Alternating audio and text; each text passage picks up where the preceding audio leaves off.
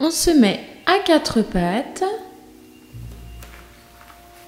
la tête dans le prolongement de la colonne vertébrale, on dirige le regard vers le sol devant soi.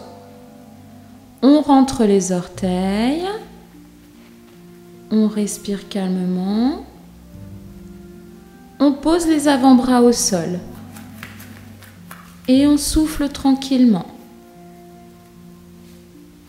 En gardant les orteils et les avant-bras au sol, on relève le bassin en équerre comme des dauphins qui plongent. On souffle. Puis on revient tranquillement, lentement à la position de départ.